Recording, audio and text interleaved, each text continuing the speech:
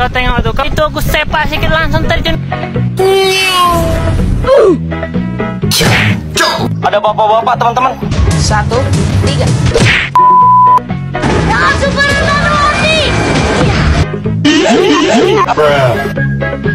Ya. Dehidrasi ringan dapat menurunkan konsentrasi dan fokus. Ada aqua,